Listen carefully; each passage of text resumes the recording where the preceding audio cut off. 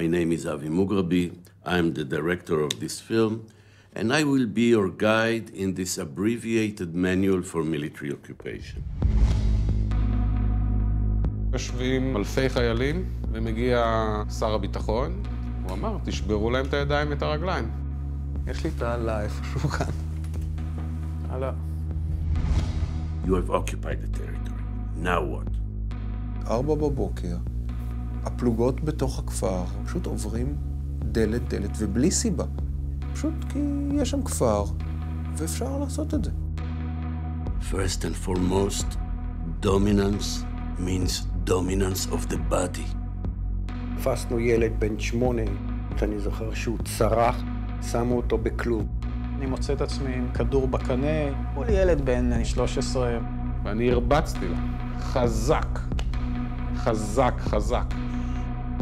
Each person, as innocent as may be, is a ticking bomb that has to be dismantled. בעל הבית עמד בצד, זקן, בוכה. הספיקה חצי אצבע לפוצץ אותי. הבית התעופף והפך להיות ערימת בוץ ועפר. היה לנו גם תחביב לאסוף את המפתח של הבית. זה המפתח. אני סוחב אותו איתי עד היום. היו כבר קוראים לזה לגלח. ממש היו מוחקים קווים שלמים של בתים. Let's be frank, this population is bound by solidarity. Your job is to annihilate it.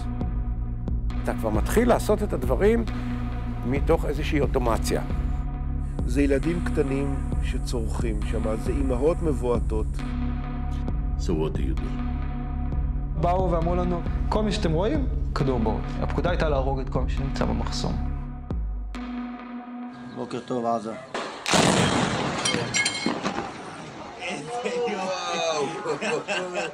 Okay, let's start.